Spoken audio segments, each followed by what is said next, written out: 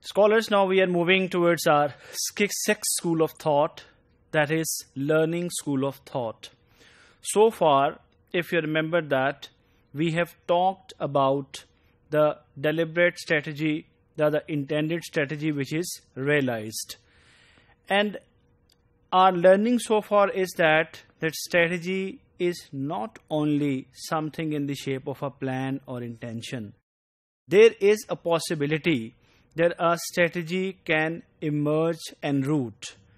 It means that it is possible that without any intention, an organization starts working, and while working, as it faces different challenges, as it faces different opportunities, it develops its strategies accordingly to cope with the challenges and to avail the opportunities.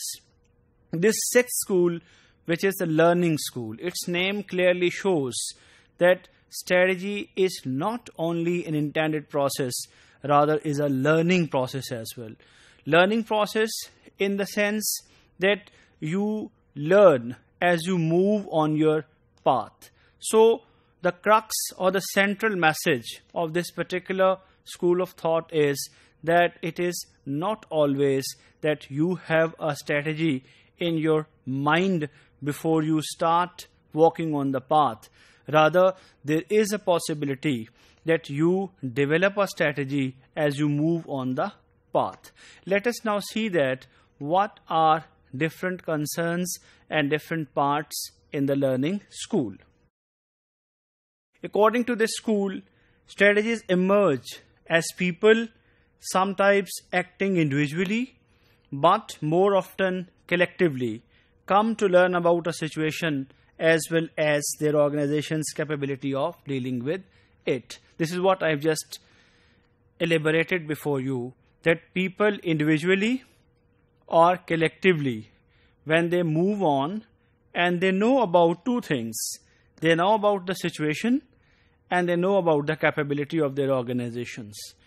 And based on the match between the capability of the organization and the given situation, they simply develop a route, they develop a plan, they develop a strategy, they develop an action. And this action then emerges as their strategy on the path. According to Lafleur 1980, strategic management becomes no longer just the management of change, but management by change. This is very, very important thing to understand that management of change. Yes, it is true that in the strategic management, our basic assumption was that as we are to face a dynamic environment, a changing environment, as environment changes, we have to change. And because of that change, we manage. And that change management becomes our strategy. But he has pointed out something which is not normal. And that is, it is not always management of change. That you manage a change. Rather, this is always management by change. Yet you are managed by the change you are not only managing the change, but change is also managing you. What does it actually mean? It means that sometimes it happens that you predict something, you plan accordingly, and you try to deal. But it also happens since our environment is not always predictable, it is many times unpredictable phenomena, unpredictable things. One, it is unpredictable. This is possible that you do what actually you do not want to do. If you are given choice as intention, you don't do this. But the environment drags you towards a path. This is actually a management by change, not only management of change. And this is very important under the learning school, which is put forward mainly by Henry Mintzberg. But there are a number of scholars who have contributed to this school will be learning as we proceed in this particular school. But there is a basic change, basic contrast between this school and other schools, especially the initial schools of strategy. And this is formation of versus formulation. You know that under the design school, planning and positioning school, we learned that strategy is formulated first and then it is implemented. This is the concept of the logical school, the concept of the intended school or the concept of the design school. That strategies formulation and its implementation are two different phases are two different processes or rather two different parts of the one process. That first you formulate a strategy and then you implement that strategy. And those who formulate the strategy are necessarily different from those who implement the strategy. But this school argues that this is not always true that a strategy is formulated rather a strategy can form or can emerge and root on the path. Actually, the question before Henry Mintzberg was that that what is the actual form of strategy? It means that how actually strategies are formed in the organizations.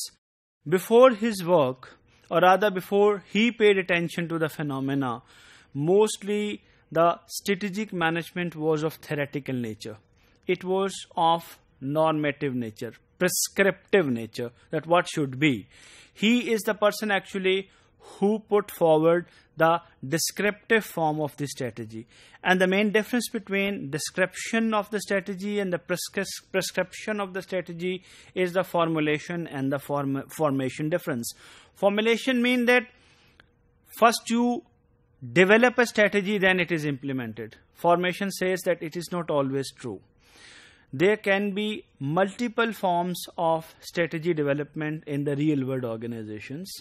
And actually strategy in most of the cases is the pattern which is found in the string of decisions which are taken in organization. What do i mean to say?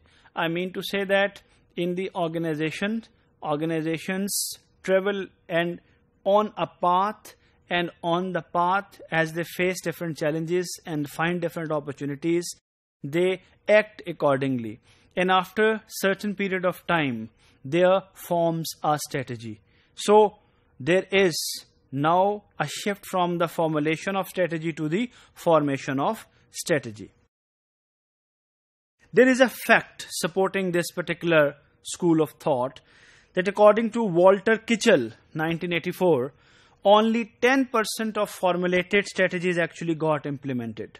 A figure Tom Peters called wildly inflated.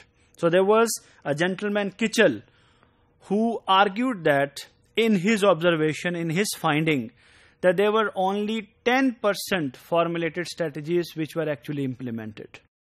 And remaining 90% were never implemented. Rather, according to Mintzberg's category, these were unrealized strategies. So there was only 10% deliberate strategies. So, and even this 10% is a very precise figure on the on the strategy development. But you see that another philosopher, uh, Peters, who even declared this 10% as wildly inflated in his opinion even this number is not 10% which is actually implemented. If it is the fact then what actually happens? You can clearly see that there is diagrammatically a display of difference between deliberately formulated strategy and emergently formed strategy. You can see that in the deliberately formulated strategy, there is a difference. First, people are thinking. In the diagram, they are developing a strategy before implementation. Whereas on the other diagram, which is for the formation and emergence, there is a spiral type emergence. So rather, this shows that strategy emerges en route on the path of the organization. Given the fact that only 10% of the strategies which are formulated are actually implemented, there are two questions which are required to be answered. What goes wrong with 90% of the organizational strategies then? And how organizations actually work? If it is true that the 90% of the intended strategies are never realized, then what goes wrong to those 90% of the strategies which are formulated? And if it is the case, then how actually organizations work? The answer is provided by the learning school. Learning school believes that that it is never possible that our environment is always favorable and it is always predictable. Actually, even when we start our journey in the organizations, whatever is the type of organization or whatever is the type of or kind of individual we are considering here in the strategy formation or formulation process. What happens that when you predict the environment you plan accordingly but when you actually start walking on the path the environment as it is dynamic it changes. Sometimes it changes. On one part the environment changes and on the other part on the path you get evolution you get more maturity and you find out more feasible and viable opportunities to attain your objectives. So you skip what is already planned and you just find out new strategies. These are the strategies which actually emerge on the path. And this is how organizations actually work in the real life conclusively we say that that organizations are the learning beings as the individuals are. And the strategy development is also a learning process.